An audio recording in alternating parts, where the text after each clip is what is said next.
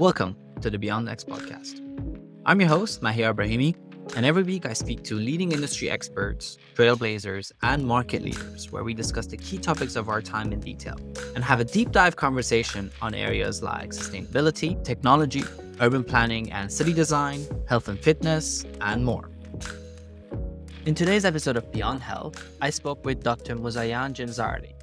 In the first part of our discussion, we went over what hyperbaric oxygen therapy is, the different conditions it can treat, its effects on immune function and autoimmune diseases, benefits on cognition and cognitive function, some examples of typical protocols, and possible side effects.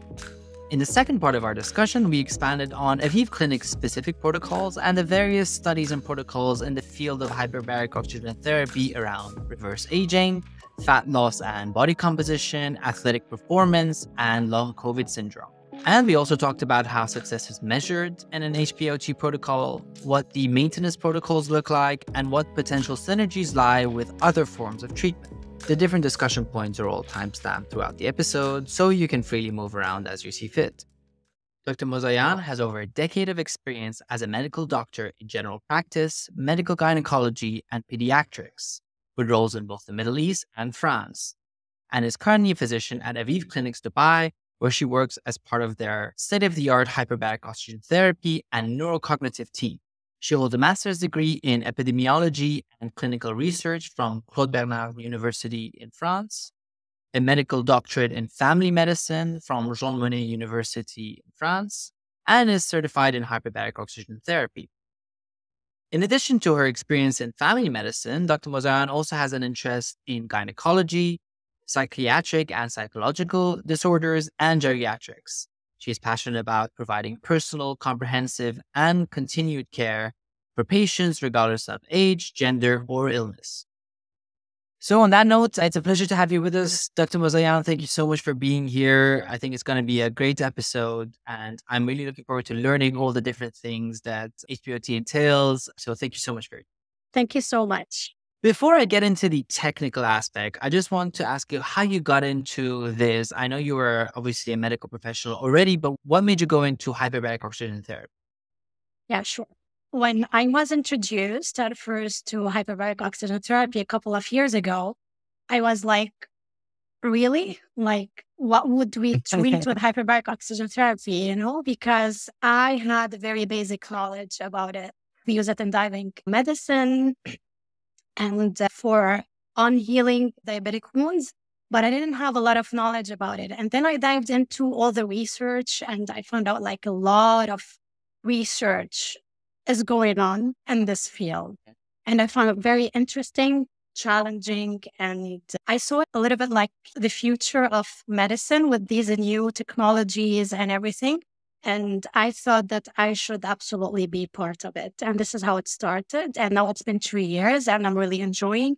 And we have so many medical indications that don't really have a medical treatment now. And I've been seeing really amazing results on a lot of patients slash clients.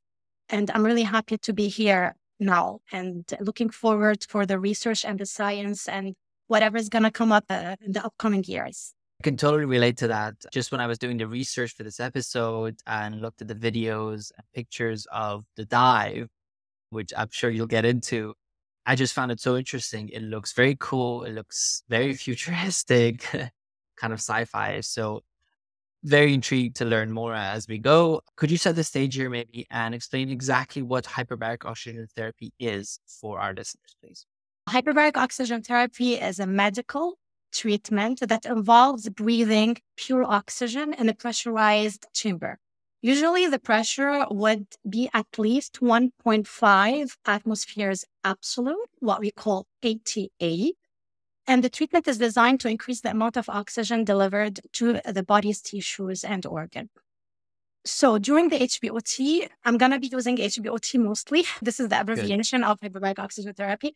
The patient or slash client I'll always say slash client because we're not always sick when we undergo hyperbaric oxygen therapy. So the client will be placed in a chamber that is pressurized while breathing pure oxygen.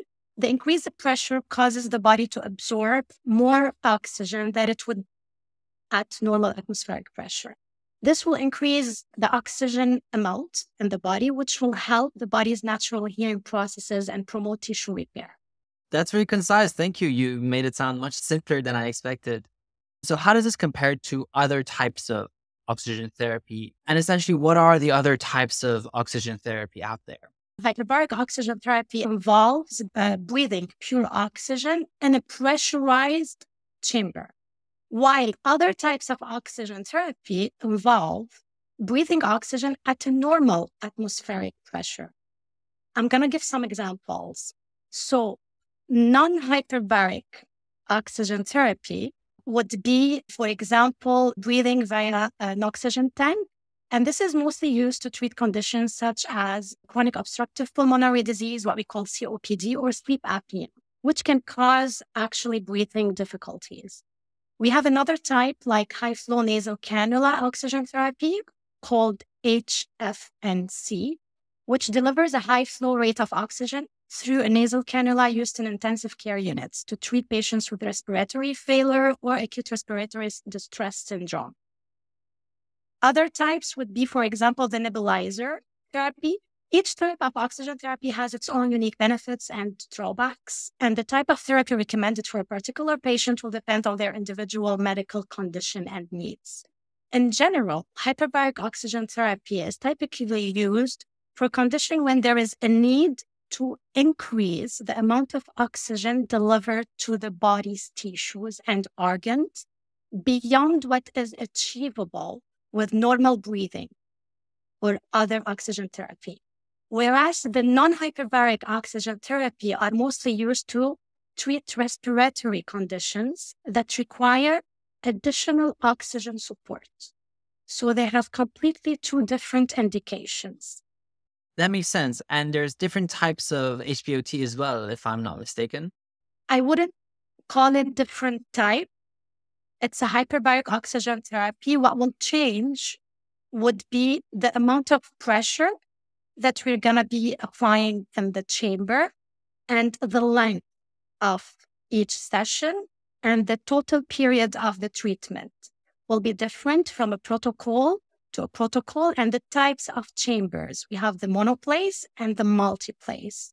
This is the main difference, but they're all hyperbaric oxygen therapy, of course, and they are performed in medical clinics or hospitals according to the local regulations. Because we have other oxygen chambers that we see at home or people are using and different types. And these, we don't really consider them as efficient hyperbaric oxygen therapy. And we even uh, think that they could really be dangerous sometimes.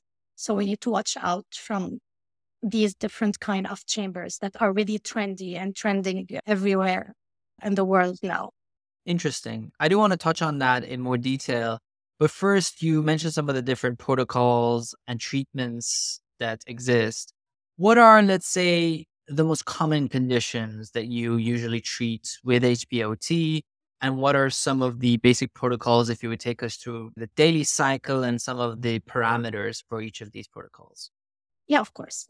The protocols of HBOT can vary depending on the condition being treated, the severity of the condition, and whether it is an acute or chronic condition.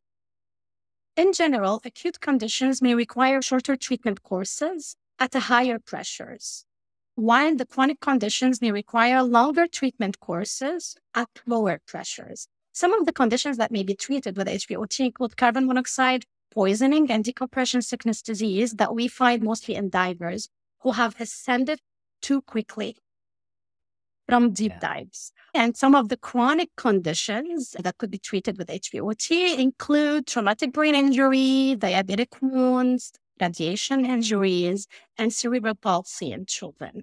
So, what would the protocol be for some of these examples? For example, if someone has a TBI, what would a normal procedure be? I know it'll vary based on the specific requirements of the individual client slash patient, but what would a generic treatment look like for some of these conditions? So a traumatic brain injury, for example, can be really different. It could be really serious or it could be really mild. And both of them has completely different symptoms.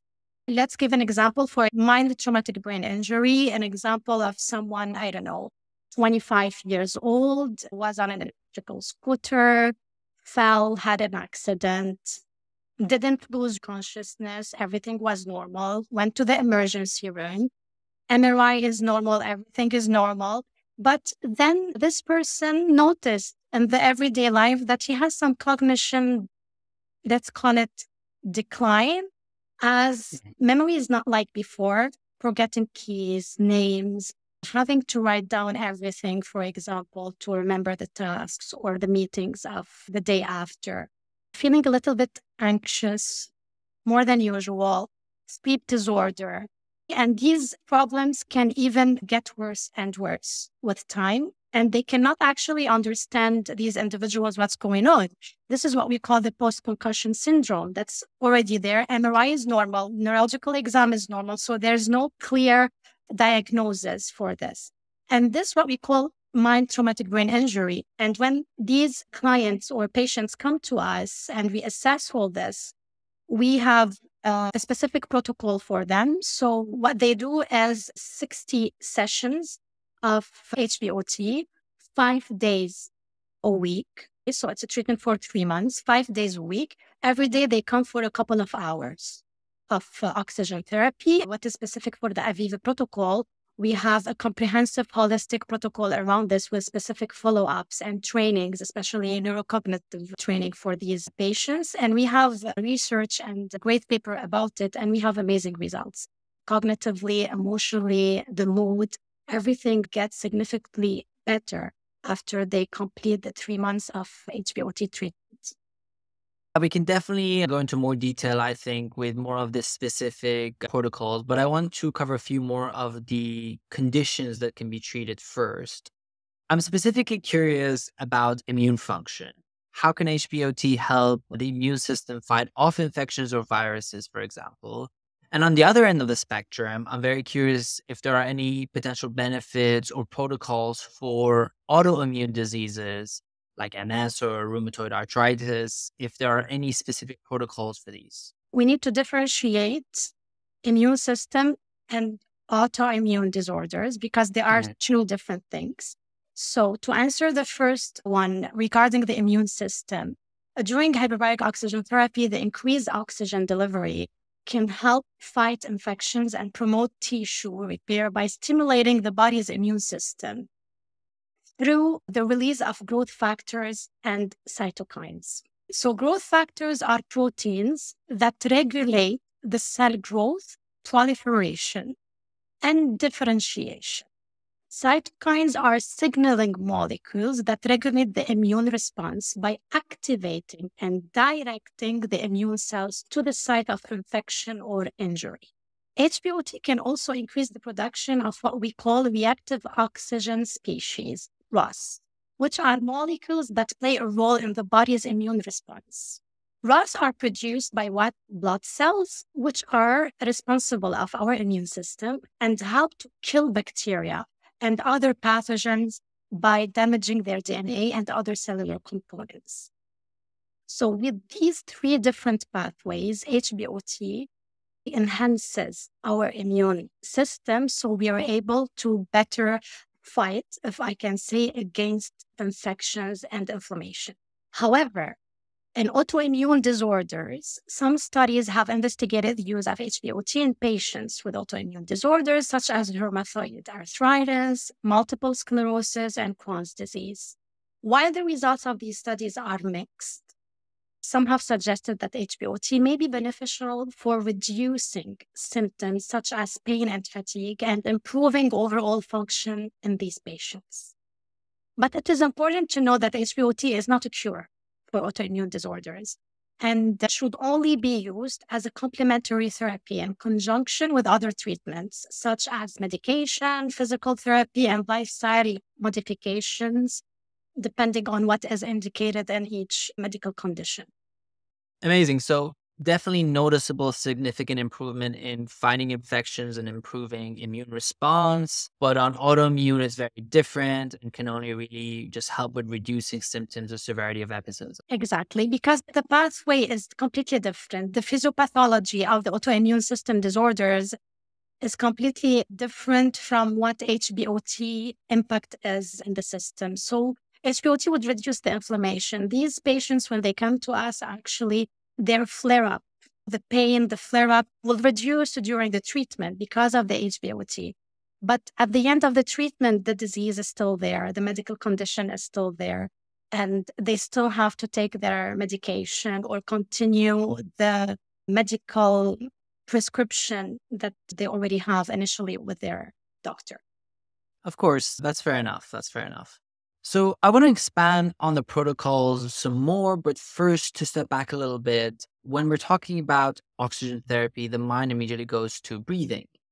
And one of the things that I think is gaining popularity in certain circles is breath work. What are your thoughts about this overall? Could there be synergies between HBOT and breath work?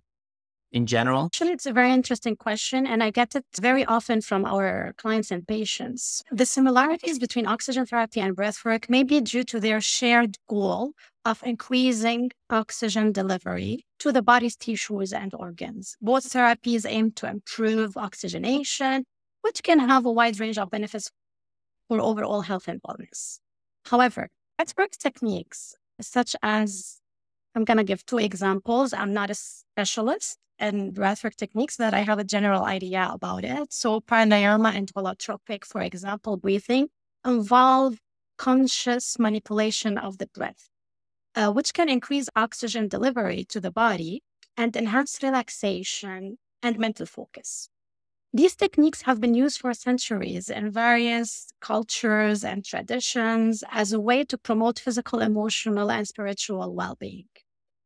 Hyperbaric oxygen therapy is a more targeted form of oxygen therapy, which is an evidence based treatment that has been shown to have a wide range of medical applications that go way beyond the physical and emotional well being. So they are completely two different therapies, but they have the same goal, almost the same goal. While there is currently limited research on the potential synergies between oxygen therapy and breath work, it is possible that these therapies could be used together to enhance their overall benefits. For example, patients undergoing HBOT may benefit from practicing breathwork techniques to enhance relaxation and reduce anxiety during treatment. And we do encourage a lot these, these techniques during the treatment of hyperbaric oxygen therapy if our clients are really into the breath work and even meditation. So these these things really encourage them to continue doing because we know that it can lead to relaxation and mm-hmm. reduce a lot the anxiety in patients, clients. And what about the less traditional types of breath work, the ones that are not so spiritual, let's say in nature, like cyclic sighing and cyclic hyperventilation and other breathing techniques? And maybe just to define it quickly for the listeners, these are breathing techniques where you manage the rate and speed of your inhales and exhales for the period of time for different effects, essentially trying to increase the amount of oxygen that you intake or increase the amount of carbon dioxide that you exhale over that period of time there's some recent studies done that have looked into the short-term benefits of these breathing exercises and some of the improvements included things like improved respiratory function cognitive function immune response anti-inflammatory effects mood and some other things i think. And to me this seemed very similar to just everything you described about HBOT's benefits. I'm sure there's no studies comparing or looking at these similarities but what are your thoughts on this maybe overall regarding the studies, usually in medical research, the studies that we use actually to prove a certain effect, we have to take a certain number of people and with hyperventilation, without hyperventilation, and actually be able to compare them before and after, for example, a course of therapy. And say, for example, 50 sessions of hyperventilation will get you from point A to point B significantly. As long as we don't have this data, it's very difficult for us as doctors to say that it's medically or evidence based. Then we have another type of research, of course, that can be based mostly on the physiopathology and what's actually happening in the body physiologically when we're doing this hyperventilation. It activates certain pathways, and this is why mm-hmm. logically we get these results. I totally agree. And I know that it has a lot of benefits as well. But with the hyperbaric oxygen therapy, it's completely different because we're giving more oxygen actually. And with the pressure, oxygenation of the tissues is done via the diffusion of oxygen because of the pressure. Mm-hmm. So the amount of oxygen that we are actually delivering to the tissues is way beyond what we can deliver by hyperventilation or other breath right. works. This is why the results are completely different and they are more, the HBOT is more indicated in complicated and serious medical conditions. And we have amazing, amazing results. I completely understand. And know that's an important distinction to make between medical and other types of studies. So, as a side note, there are scientific papers that do study the subject of cyclic hyperventilation. A recent one out of the Stanford Huberman Lab comes to my mind where they studied, I think, over 100 subjects during the time of COVID. I'm not sure exactly what the parameters were, but they did find statistically significant benefit in the patients or subjects. But again, that is not a medical study as far as I'm aware, at least. So I think you clarified it perfectly, especially with the distinction here on the amount of oxygen and the pressure that is applied, obviously, that the pressure within the suite that can't be created in a normal setting with just breathing. So based on this, you did touch a bit on the pressure range earlier as well. Is there an optimal range of pressure and duration for hyperbaric oxygen therapy? Can you break this down for us, the specific ranges and time frames for the different protocols? Usually the pressure that we use is going to vary, as I mentioned earlier, according to the indication, if it's acute, if it's chronic, and the duration of the treatment. The pressure that are used usually are between 1.5 and 3 ATA, atmosphere absolute. And the usually used pressure would be mostly 2 ATA. And this is what we are using in the Aviv clinics because we treat mostly chronic conditions. And when we use a lower pressure, uh, the treatment can last for a longer time. So we give high amounts, high numbers of session. It can go up to 60 sessions. And the sessions usually can go from 30 to 90 minutes in total. And this depends as well on the pressure, on the indication, and on the length of the treatment. So there are so many different protocols. The most important thing is to remember that the usual used pressure is 2 ATA. We can use 1.5. We use it mostly in children. We can go up to 3 if it's really acute medical condition and we're doing only few sessions, not very high number of sessions. And uh, this protocol will vary, as I said, according to the indication, chronic, acute, serious, less serious, and according to the research as well, because we have a lot of research for the different indications. And from there, we know what is the optimal number of pressure, number of sessions, and what is the optimal pressure to be applied in a certain uh, medical condition to have the best of results limiting as well the side effects. So we want to right. balance, like we want the best of results and the less side effects. I do want to expand on the side effects, but first, how about the oxygen? Is there any variance on how this is delivered? Is it always pure oxygen? And does that vary throughout the different types of procedures and protocols? So usually when you're in the chamber, the multiplace chamber, the oxygen is delivered in a mask or as hood. And usually it's 100% oxygen, medical oxygen. Whereas when you are in the mono chamber, so you're lying down in the mono chamber, it's only one person inside. The whole chamber is filled with 100% oxygen. And by uh, saying that, it's important to emphasize on something. It's the multiplace chamber, because the oxygen is delivered in a mask or in a hood, the risk of fire is less. While in the mono chamber, because you have the whole space is filled with oxygen, the risk of fire would be higher. And I presume they would remove any metals and other flammable objects, right? Of course, we have safety is very important. This is the number one thing that we do. And even that protocol, we check the clients slash patients on daily basis and several times before they go at the suite. And Right. even the uniforms are all the same, 100% cotton, no pockets. Understood. You mentioned side effects. So, what are some of the side effects of HBOT? And more importantly, I'm curious can HBOT ever be harmful to someone who is otherwise perfectly healthy? I need to mention here that HBOT is a very safe treatment in general. Of course, if it's, as I said, really performed in a medical facility that is certified according to the local regulations and under the supervision of experts, like very experienced medical staff. I would mention mostly the side effects related to the high pressure, what we call barotrauma, and the side effects related to the high exposure to oxygen, so the oxygen toxicity.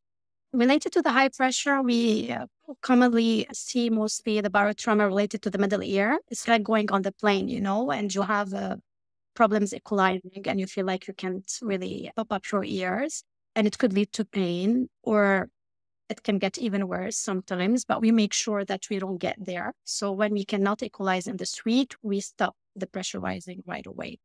It could be related to the sinuses as well, you know, and the lungs because they're all air filled spaces in our body. Vision can change as well, especially um, cataract. Cataract sometimes can get a little bit worse. So, this is why we always do a vision checkup before we go in the high pressurized chamber.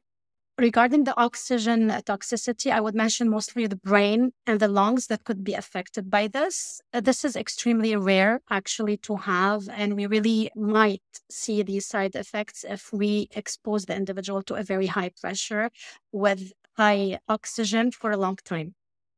Other side effects are there, they're less serious. For example, the repressed memories can come back. So, memories from the past. That's a risk with any type of therapy, right? yeah. And this is mostly actually, but this is mostly interesting in treating other indications like the fibromyalgia and PTSD, especially when they're mm. related to trauma in the past. So all these memories can come back. So this is why it's That's important to have experts and very experienced staff around the patients to take care of these specific conditions as well. So, you have mental health professionals on staff as well, I presume. Of course. Yeah. I'll definitely touch on the brain more because that's very fascinating. But you mentioned vision. So I'm just very curious can HBOT improve vision in anyone, unless you have cataracts, of course? it can improve vision. So we have a lot of clients like, I don't need my glasses anymore. I need to change them. And then we tell them, no, don't, because this is not going to last forever. So it might Ah. improve the vision during the treatment, but once you complete the treatment, actually, it will go back to how it was before. Damn, you had my hopes up just a little bit. That's fair enough, though. You talked about the quality and the importance of using medically managed HBOT. Can you expand on that? Are there any specifications that need to be abided by? Any potential malfunctions or anything else along those lines that could happen? Going into the equipment, it's very technical here, but of course, equipments have to comply with a lot of regulations and mostly safety regulations. You know what? I would love to share the picture at least. I don't know, maybe we can add it later and it will explain Yeah, better than me talking it. how it looks Sure. like. Because it's like a spaceship actually, and it's it's like incredible. Okay. And even we have experts, HBOT expert, the operators who operate the suite as well. And of course, it has to comply with a lot of regulations, safety regulation, technical re- engineering, everything. It's very sophisticated equipment. And most of it is manufactured abroad. And there are specific, can I say, brands and branding Yeah. or our uh, companies actually specialized in manufacturing these chambers, especially the multi-place ones. And I can say that here in Aviv at Dubai, we have the biggest ones, the biggest ones, and it's the biggest facility so far, especially in the GCC. The mm-hmm. mono chamber, it's less complicated, but still it needs very high qualifications and regulations to actually be able to have the medical one because as I said, a lot of people have the mono chamber at home and it's not the specific equipment needed actually to get the efficiency from the hyperbaric oxygen therapy, the right efficiency. And uh, it is very crucial for it to be, as I said, medically certified because it could be inefficient and really dangerous. And we have seen dramatic incidents in the past related to the misuse of hyperbaric oxygen therapy. If you look at it, there are really dramatic results. And this is one of the reasons why people sometimes they're a little bit afraid or they don't really believe in it because of what happened in the past. And this was just related to the misuse of hyperbaric oxygen therapy because when it's really used in the right way, it's a safe treatment if right. it's done in the right way. Okay, so make sure you use medical professionals and their assistants. Exactly. Yeah. Okay. In terms of the equipment, you mentioned the various brands and companies that produce them. So, if, for example, someone is exploring undertaking HBOT treatments at two or three different clinics that provide it, and I know you work for Aviv Clinic, so you might be a bit biased here, but if they're contemplating doing HBOT, what should they be looking at? Are there differences between the equipments different clinics have, or are the professionals and the protocols that are used the main differentiator? And then maybe if you can expand a bit on the key parameters of these protocols. So, usually the chambers that are implemented or will be implemented in clinics or in hospital facilities that are certified in Dubai will be certified because if not, the health authorities will not allow this treatment to happen in any of the clinical or hospitals here. So they are certified. Certified, it means that, yeah, mm, it works, it's medical, it's a good equipment. The difference would be mostly in the protocols and the experience of the staff as well. So the Aviva protocol is unique protocol, different, based on research that mostly Professor Shai have been leading for more than 15 years. And this protocol, the core of it is the hyperbaric oxygen therapy, but it has a lot of other trainings with experts that will be going on the same time as you're having your hyperbaric oxygen therapy to enhance and increase the benefits and the results at the end of the day. And after three months, what we're, we're aiming to do as well you know, in any treatment, if you just get the treatment and stop there and continue with your lifestyle that's not really healthy, it will not last forever, right? So during right. the three months of treatment, we do our best to actually change the lifestyle of these clients and patients and not in a sudden way, because everything that we start suddenly like this and we ask them to stop everything, it will not be sustainable. So we have enough time during these three months actually to educate to help to support our clients during the treatment to change their lifestyle slowly to a better lifestyle so they get the best of benefits at the end and they can continue actually a healthy lifestyle later on and prevent any decline in their health physical or mental or cognitive so this is the main difference and another difference is more technical in the suite we don't give our clients oxygen continuously during the two hours Actually, they put the mask on for 20 minutes and then they remove the mask for five minutes. And we do this cycle three times. And this is what we call the hyperoxic hypoxic paradox. And there's a very interesting paper about this if you're interested in research. And during these five minutes, actually, of hypoxia, lack of oxygen that we are mimicking in the body from 100% oxygen to 21%, actually during these five minutes, we trigger the increase of the growth factor in the body and we activate different pathways, which will lead to increasing the amount of stem cells. Interesting. Which are the main components of regenerating the regenerative process in the body and mostly in the brain to get significant results cognitively and physically at the end of the treatment. That's very interesting. I wasn't expecting that at all. You mentioned HBOT can improve cognitive performance in individuals suffering from neurological disorders. And I think there's quite a bit of research studying the impacts of HBOT on TBIs. What is the underlying mechanism for this? Essentially, how does HBOT positively impact the brain? Is it through the production of additional stem cells? And could you go into how this manifests? Or are there other factors, maybe especially with the mitochondria, on improving brain function? So, In traumatic brain injuries, the brain experiences physical damage that can cause a range of cognitive, physical, and emotional symptoms depending on the severity and the location of the injury. HBOT can improve cognitive performance in individuals suffering from neurological disorders. It could be TBI or any other injury like stroke, for example, by increasing the blood flow to the brain tissue. And how does this blood flow increase? I'm going to go back to what I said earlier. We have an increase in stem cells. So these stem cells are basic cells, they don't have identity yet.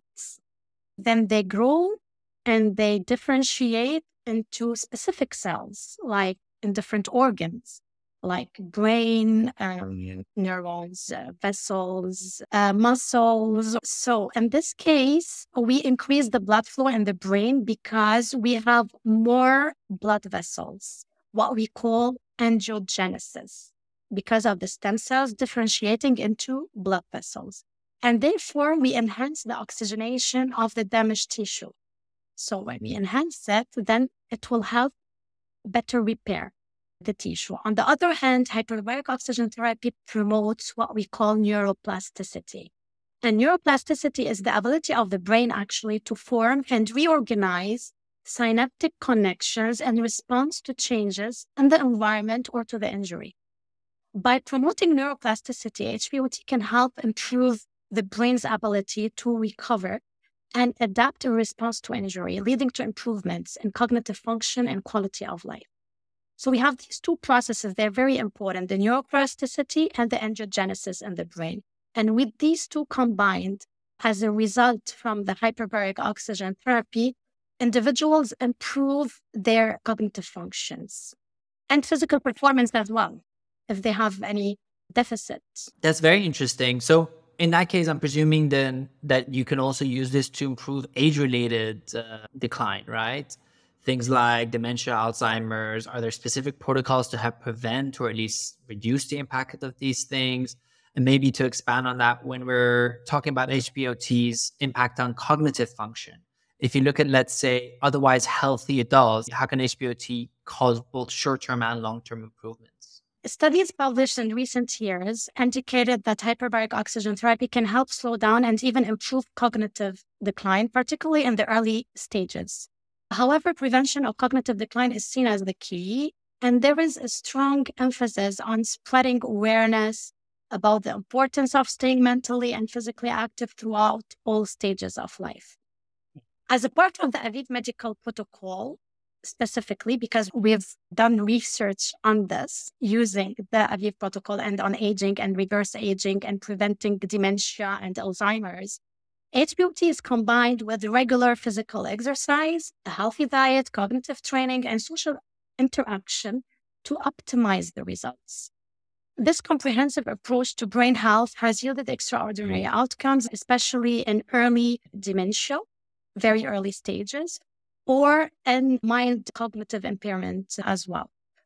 Even if you don't have an injury like a traumatic brain injury or stroke or any physical damage in the brain, even in healthy individuals, HBOT will enhance neuroplasticity and angiogenesis and can improve the cognitive function. When I say cognitive function, it's mostly the memory, attention, focus, information processing speed, executive function, motor skills, and we can actually show the patients slash clients objectively the improvement that they had because we do a very holistic and comprehensive evaluation before the treatment and after the treatment. So they do feel it when they finish the treatment, of course, when they complete the number of courses assigned at first, but they do see it objectively as well. They can see their improvement in the different fields. And for this, we really use scientific proof tests every test that we're going to be using in the physical uh, therapy physiology assessment or in the neurocognitive assessment has the approved scientific uh, tests that are used worldwide and are according to the health recommendations.